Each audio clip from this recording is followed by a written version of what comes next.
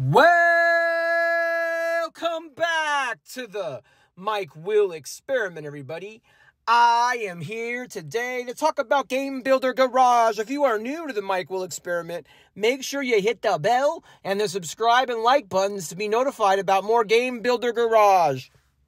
First thing I wanted to talk about was the Switch Pro Controller is confirmed by me.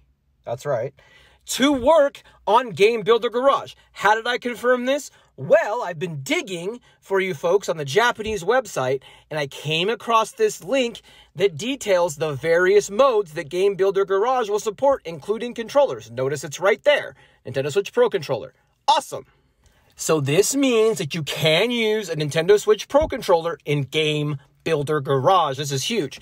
Now, I've moved on to the website further to look at and determine what these videos were. They're actually showing off the lessons and what the tutorials in Game Builder Garage will look like. I have included some screenshots. I did a live translation of the video. It didn't come out great, as you can see, but you can pause the video and see certain phrases um, and certain things. Now, what I will say about what I learned looking through all these translations, and I'll pop them up on screen so you guys can, you know, take a look at what the various menus are. But what I gathered were these are the tutorials to show you how to play or build games.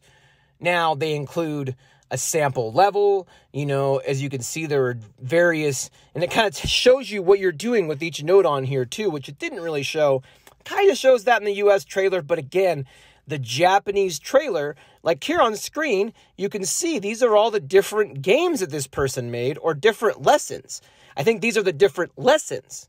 Um, so that's awesome. So it shows like a list of menu of lessons. Um, perhaps those are the example games that are included that give you the lessons. Again, we don't know. I'm going off the translation here, but that's what it looks like to me.